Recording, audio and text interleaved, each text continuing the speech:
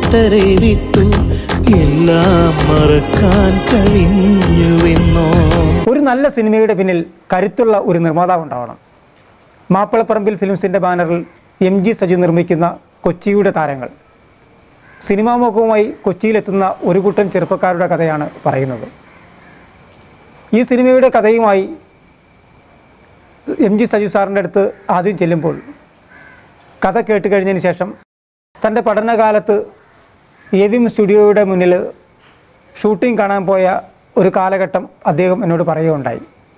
ആ കാലഘട്ടത്തിൽ ഷൂട്ടിംഗ് കാണാൻ പോകുമ്പോൾ അദ്ദേഹം ആഗ്രഹിച്ചിരുന്നു.